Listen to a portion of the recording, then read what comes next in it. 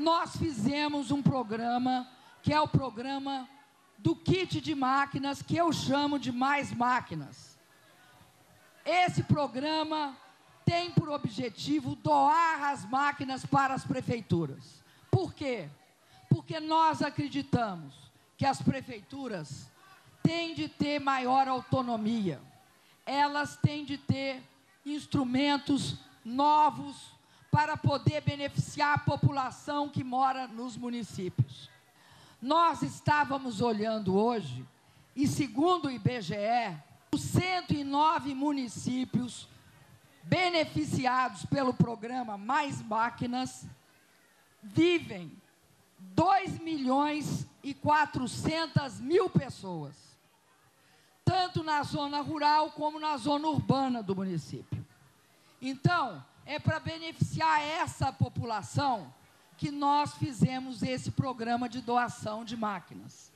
Se o município fosse comprar essas máquinas, fosse comprá-las no mercado, pagaria um milhão de reais pelo kit das três. Por isso é muito importante essa doação.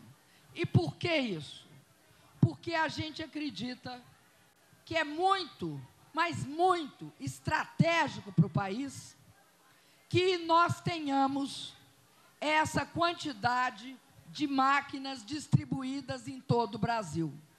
E aí eu quero dizer para vocês, essas máquinas não beneficiam só vocês, beneficiam também indústrias brasileiras que as produzem.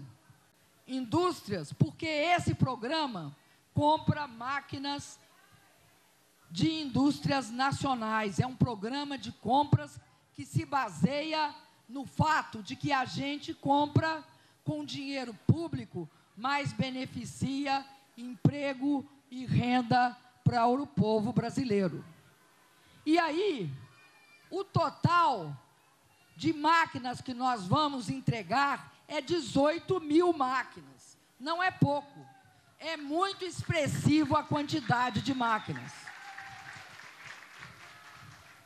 E eu quero dizer que eu assumi um compromisso com os municípios até 50 mil habitantes, porque eu percebi que se fazia programas para os grandes municípios, para a zona metropolitana, para os municípios médios, e sempre os pequenos tinham mais dificuldade de pegar e se aproveitar dos programas que o governo oferece.